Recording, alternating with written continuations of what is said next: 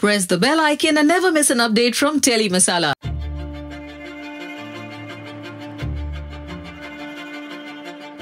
Serial Devanshi के upcoming track में आने वाला है एक बहुत बड़ा ट्विस्ट अब इस ट्विस्ट को लेकर आपकी एक्सपेक्टेशन क्या है, ये तो हम नहीं जानते, लेकिन हम आपसे ये क्लियर कर देना चाहते हैं कि डेफिनेटली इस नए ट्विस्ट को जान आप खुश तो नहीं होंगे।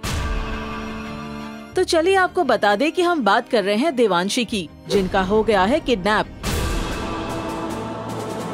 तो दरअसल देवांशी घर के पास फ़ोन पर किसी से बात कर रही थी। उसी दौरान वहाँ कुछ गुंडे आ जाते हैं और उनके साथ ज़बरदस्ती करते हैं।